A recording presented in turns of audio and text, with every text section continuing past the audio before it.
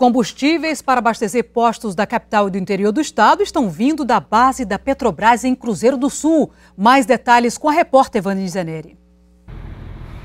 Todos os dias, o tráfego de caminhões de grande porte na base da Petrobras em Cruzeiro do Sul é grande.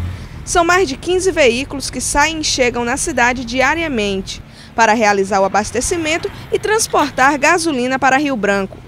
Após a cheia do Rio Madeira, o combustível está sendo transportado do interior para a capital. Josimar Nogueira é motorista de um desses caminhões. Ele contou que após sair de Porto Velho, teve que atravessar mais de 15 quilômetros na BR com água cobrindo o tanque do veículo. A água passava aqui no tanque, mais ou menos assim, a altura da, do, do nível da água. Enquanto a gasolina está sendo levada do interior para a capital, o combustível S10 acabou em Cruzeiro do Sul nesta quinta-feira e deve chegar a aproximadamente 15 mil litros de Rio Branco ainda hoje, como explicou o vice-governador César Messias, que esteve na cidade avaliando os efeitos da cheia na região. Esse S10 vai vir de Rio Branco para Cruzeiro do Sul também, para ser vendido do mesmo preço que era vendido aqui em Cruzeiro do Sul. Até o fim de março, deve ser transportado para a capital mais de 2 milhões de litros de gasolina. O combustível está sendo vendido em Rio Branco por preços que variam de R$ 3,30 a R$ 3,45. Já em Cruzeiro do Sul, esse valor chega até R$ 3,60 em alguns postos. O fato tem incomodado os condutores da cidade, que buscam respostas para entender a diferença dos valores. Como é que pode, né? Sai daqui para Rio Branco e lá no posto de lá vende mais barato que daqui. Isso aí é o problema, né? E aqui fica mais caro por quê, né?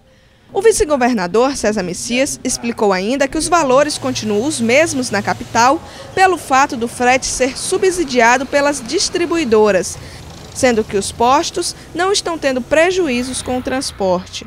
Esse custo que está tendo do transporte daqui para Rio Branco está sendo custeado pelas empresas distribuidoras de combustível, para não ver que para não ter aumento de combustível na bomba lá nos postos de Rio Branco. Independente da cheia do Rio Madeira, Cruzeiro do Sul sempre apresentou o preço mais elevado da gasolina em relação aos outros municípios e a indagação dos condutores continua. E a população do Cruzeiro do Sul ela quer uma explicação por que essa gasolina está indo daqui e sendo vendida mais barato lá, né? A justificativa da Petrobras para a diferença do preço do combustível da capital para o interior é a questão da logística no transporte. Enquanto o Cruzeiro do Sul é abastecido via fluvial por balsa, Rio Branco recebe a gasolina por meio terrestre, de Porto Velho, tornando esse percurso ainda menor. Outro fator relacionado ainda com a logística é a forma de armazenamento.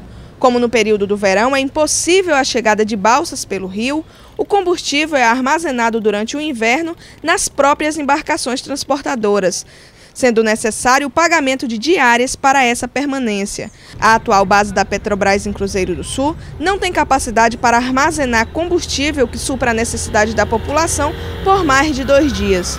Com a nova base, é possível que os problemas de armazenamento sejam reduzidos.